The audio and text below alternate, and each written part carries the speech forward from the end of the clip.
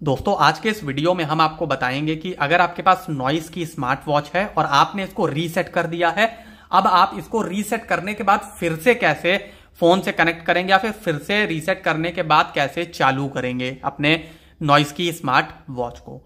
इसके लिए आपको क्या करना है, यहाँ पे आप रीसेट कर देंगे जब तो आपके सामने इस टाइप का इंटरफेस आएगा। आपको अपने फ़ोन को ले लेना है और फ़ोन में आपने नॉइस फिट नाम का ऐप तो डाउनलोड कर ही रखा होगा पहले से ही, ठीक है? तो आप सिंपली उसी को ओपन कर लीजिएगा। ठीक है? यहाँ पे ये रहा नॉइस फिट हम इसको ओपन कर लेते हैं। अब जैसे ही आप इसको ओपन करेंगे तो आपको सिंपल सा जो है इस टाइप का इंटरफेस मिल जाएगा, क्योंकि आपने जो है अकाउंट तो इस पर ऑलरेडी बना ही लिया होगा। ठीक है? अब आपको क्या करना है? आपको पेयर योर डिवाइस पे क्लिक करना है। जैसे ही पेयर योर डिवाइस पे क्लिक करेंगे, आपके सामने इस टाइप का इंटरफेस आएगा।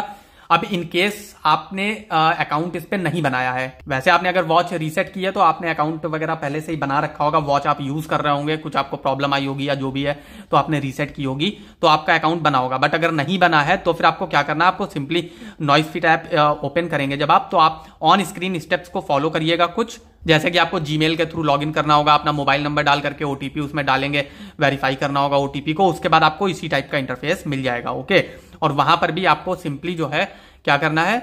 वहाँ पे आपको नीचे की साइड आपकी स्मार्ट वॉच का नाम दिखा देगा, जैसे यहाँ पर दिखा रहा है। तो आपको क्या करना है? आपको इस पर क्लिक करना है। अब जैसे ही क्लिक करेंगे तो यहाँ पे जो है, आपको स्मार्ट वॉच में एक पॉपअप टाइप से आ जाएगा। यहाँ पे इस टाइप से पेयर विद दिस डिवाइस करके आपको टिक पे क्लिक करना है। टिक पे क्लिक करेंगे, ये पेयर हो जाएगा पेयर्ड सक्सेसफुली आपको दिखा देगा। आपको स्टार्ट यूजिंग पे क्लिक कर देना है, ठीक है? वैसे नहीं भी क्लिक किया हमने तो थोड़ी देर में ऑटोमेटिक इस टाइप से ओपन हो जाएगी। और बस इस टाइप से आप अपनी नॉइस की स्मार्ट वॉच को रीसेट करने के बाद दोबारा चालू कर सकते हैं।